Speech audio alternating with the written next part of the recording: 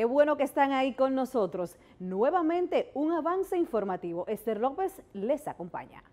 La Junta Central Electoral dijo que rechazó la solicitud del Partido de la Liberación Dominicana de celebrar una audiencia pública con las agrupaciones políticas para conocer el orden numérico en las boletas electorales y sobre la distribución económica que reciben del Estado. En ese sentido, el organismo de elecciones reiteró su decisión de que los 27 partidos y los seis movimientos políticos reconocidos depositen por escrito sus opiniones al respecto, según un documento de prensa colgado en su página electrónica. Continúe disfrutando de todo el contenido de Canal 4 RD. Somos la televisión de todos.